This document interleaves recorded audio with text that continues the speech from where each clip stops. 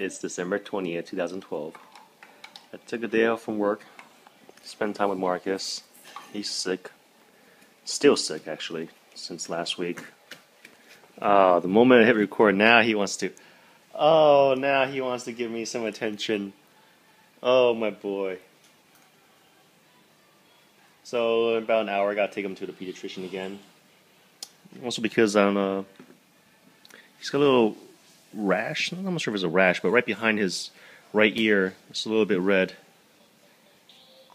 Oh, no, you're just being lazy, huh, Marcus? Ah.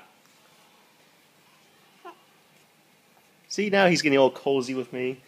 But with the camera off, if I want to say, hey, give me a kiss, give me a hug, he goes the other way. The camera on, now he wants attention. Mm, drool.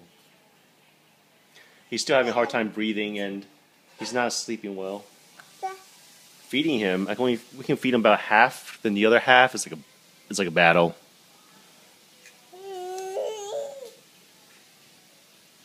And lately, he really likes the uh, sharing his fun book. Marcus, you want to give me the book? Where's the book? Where's the book? Other side. It's over there. No. He hasn't really gotten to this one yet. The hands are not for hitting. He barely opens this one. His other. for some odd reason, whenever he brings me uh, sharing time now, he also brings along this sea life. I don't know why. It's not like I can read him two books at the same time.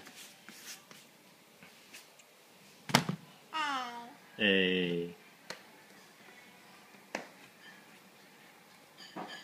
Do you want me to read you a book? Do you want me to read you a book, Marcus? Oh, well.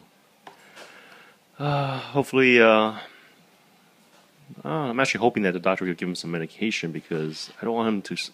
It's been like a week and a half already of him being sick. And I just want him to get better before Christmas.